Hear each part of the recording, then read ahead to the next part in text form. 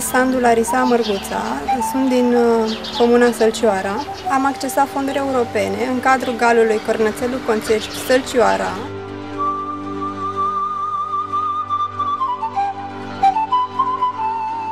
Sandu Larisa Mărguța a fost una dintre primele persoane care au avut încredere în Gal Cornățelu Conțeș Sălcioara, astfel că ea a depus un proiect în cadrul măsurii 413-312, sprijin de creare și dezvoltare de micro-întreprinderi. Proiectul a vizat achiziția unor echipamente, respectiv un tractor și un plug, în scopul dezvoltării activității de închiriere către agenții care activează în domeniul agricol din mediul rural. Proiectul încurajează inițiative de afaceri promovate de tineri și femei, prin crearea de micro-întreprinderi.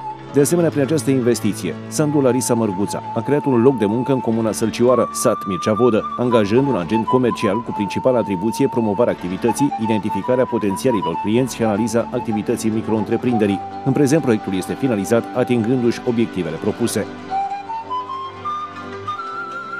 Am accesat măsura 312, crearea și dezvoltarea de micro-întreprinderi, am obținut fonduri europene pentru achiziționarea unui utilaj, tractor și plug, care îmi sunt necesare pentru a desfășura activități agricole la standarde europene.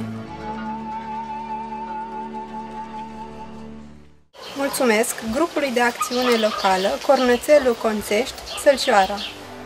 Gabriel Paraschiv este un alt beneficiar care cu sprijinul Gal Cornățelu Conței Sălcioara a obținut fonduri în vederea punerii bazei unei ferme agricole, în scopul de a o dezvolta ulterior, crescându-i veniturile și transformând-o într-una comercială care să corespundă cerințelor pieței și standardelor comunitare. Obiectul principal de activitate este cultura vegetală, deși beneficiarul deține și un număr de 100 de păsări, zona în care este amplasată exploatația fiind o zonă cu posibilități de dezvoltare a agriculturii care va contribui la ridicarea standardelor de viață. Fiind o zonă cu profil agricol, unde se cultivă legume, exploatația exploatația se va axa pe dezvoltarea acestei ramuri a agriculturii. Prin proiect se mărește suprafața cultivată cu legume de la 2,66 de hectare la 3,71 de hectare, suprafață care va fi cumpărată de către beneficiar cu sprijinul primit de la GAL.